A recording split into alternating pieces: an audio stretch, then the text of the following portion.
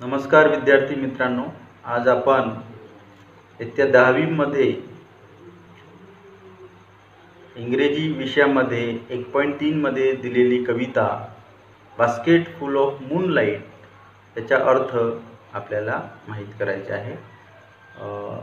पाठ्यपुस्तकाच्या page number अठरामध्ये ही कविता दिलेली आहे. माझ्याजवळ हे पाठ्यपुस्तक आहे आणि तुम्हाला जर हे बघायचे आहे कविता तर पाठ्यपुस्तकाच्या अठरा पान नंबर अठरामध्ये पाहू शकता. बास्केट फुल ऑफ मूनलाईट ही कवितेचे नाव आहे. आणि बास्केट फुल ऑफ मूनलाईट याचा अर्थ आहे टोपलीभर चंद्र प्रकाश.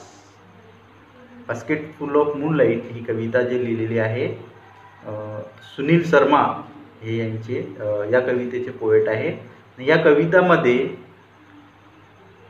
एक मुलगा जो आहे स्पीकर आहे तो वक्ता आहे आणि तो मुलगा चंद्राला काय निवेदन करतो? कशी आणि कशाला निवेदन करतो? याबद्दल ही कविता दिलेल्या आहे तर चला आता या कवितेचा अर्थ जाणून घेऊ. O moon give me moonlight. मुलगा म्हणतो हे चंद्रा मला चंद्रप्रकाश दे. बास्केट फुल और टू बास्केट फुल. किती दे? एक एक टोपली दे किंवा दोन टोपली दे. Basket full or two basket with seed of moonlight आणि त्याच्यासोबत काय दे? चंद्रप्रकाशाचे बियाणे दे. सीड म्हणजे बियाणे ज्याच्या ज्याला आपण पेरतो. आणि पेरल्यानंतर त्याची आणखी जे आहे त्यांच्यापासून अजून निर्माण होते त्याला सीड म्हणतात. विथ सीड्स ऑफ मूनलाईट आणि त्याच्यासोबत कायदे कायदे म्हणतो? चंद्रप्रकाशाचे बियाणे. From the city to my village आणि तो बियाणे कशाला मागतो कारण की from the city to my village शहरापासून माझ्या गावापर्यंत on the side of the path त्या रस्त्याच्या आजूबाजूला साईडला I want to sow many small small moons of light मला काय करायचे आहे? मला लहान लहान चंद्रप्रकाशाचे बियाणे त्या रस्त्याच्या आजूबाजूला काय करायचे आहे? पेरायचे आहे the whole village goes to city daily to work आणि तो मुलगा ज्या गावामध्ये राहतो त्या गावाचे जे सर्व लोक जे आहेत ते कुठं जातात? शहरामध्ये. कशाला जातात? डेली टू वर्क काम करण्याकरिता शहरामध्ये जे आहे संपूर्ण गावाचे लोक जातात. It becomes dark on its way back आणि काय होतो? जेव्हा त्यांचे परतीचे वेळी येते जेव्हा ते घरी परत येतात तेव्हा तो रस्ता कसा होतो? इट बिकम्स डार्क डार्क म्हणजे अंधार. तो रस्त्यावर रस्त्यावर अंधार तो रस्त्यावर अंधार होते. As my village is quite far कशाला अंधार होते? कारण की त्याचा जो गाव आहे तो शहरापासून कसा आहे?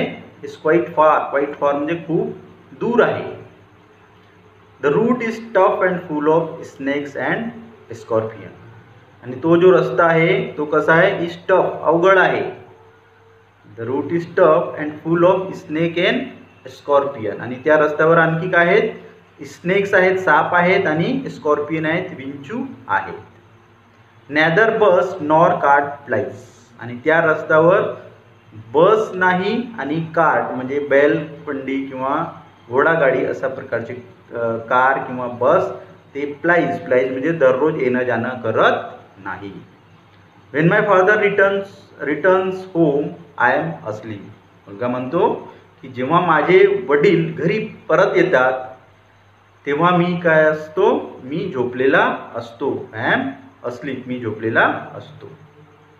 And he goes back early in the morning while I am sleeping आणि जेव्हा ते सकाळी जेव्हा ते जातात व्हाईल आय एम स्लीपिंग त्यावेळी पण का असतो? व्हाईल म्हणजे त्यावेळी त्यावेळी पण तो मुलगा झोपलेला असतो.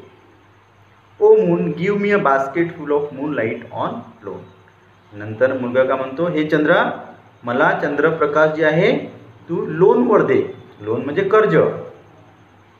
जर नाही शक्य झालं तर मला चंद्रप्रकाश कशा कशावर देशील? कर्जावर देशील.